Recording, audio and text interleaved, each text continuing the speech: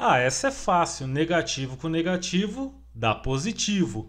Cuidado, nem sempre é assim. Eu sou o professor Silvio, seja muito bem-vindo ao meu canal. Antes de continuar, já aproveita, inscreva-se no canal, ative o sininho de notificações e deixe seu like. Maravilha? Vamos lá. Então veja que aqui eu tenho dois cálculos envolvendo números negativos, ok? Vamos lá. O primeiro, eu tenho que observar o quê? Que eu tenho uma multiplicação. Veja que é menos 2 vezes menos 4. Então, na multiplicação, eu tenho uma regra. É aqui que tem que saber diferenciar. Na multiplicação e divisão, tem uma regra específica, ok? Que é essa tabelinha aqui. Então, vamos lá. Como ficaria multiplicando? Ó, 2 vezes 4 dá 8. Agora, olha o sinal do 2 é negativo e o sinal do 4 é negativo.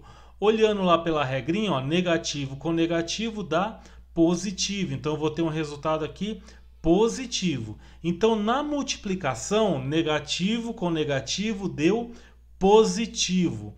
Olha nesse de baixo.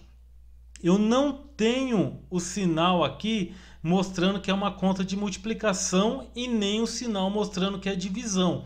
Ou seja, não entra essa regra aqui, ok? Então toma cuidado. Aqui eu tenho uma continha de subtração, menos 2, menos 4. Então quando eu tiver uma adição e subtração, eu não vou usar essa regra. Qual que é a dica? Então você vai pensar assim, ó, o número que tiver com sinal de mais na frente, pensa que é um dinheiro que você tem. E aquele que tiver com negativo na frente, ou seja, o sinalzinho de menos, você vai pensar que é uma dívida que você tem que pagar. Então, olha aqui, na frente desse 2 eu tenho o negativo, sinalzinho de menos. E na frente desse 4 também tem o menos, ou seja, eu tenho uma dívida de R$ reais e tenho uma dívida de R$ reais. Ou seja, eu só tenho dívida. Então, no total aqui eu estou devendo quanto? Estou devendo 6, ok?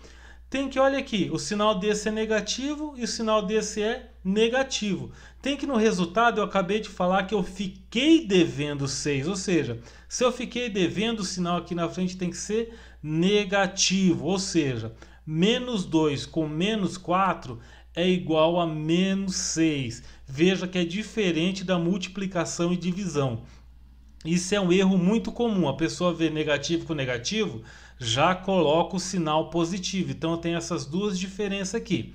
Eu estou deixando aqui na descrição do vídeo e está aparecendo aqui também no card o link da minha videoaula só sobre regrinha de sinal, tá? Eu faço mais exemplos lá explicando quando é multiplicação e divisão, explicando quando é adição e subtração.